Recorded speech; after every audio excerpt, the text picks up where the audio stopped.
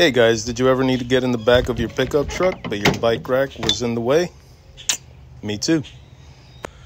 Here's a cool solution that we finally spent some money on. It's called Thule Bike Rack. This thing is for e-bikes, rated for uh, 150 pounds, I think.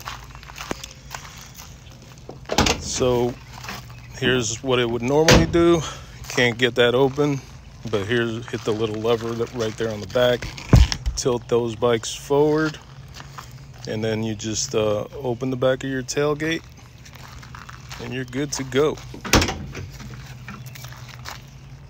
Easy peasy.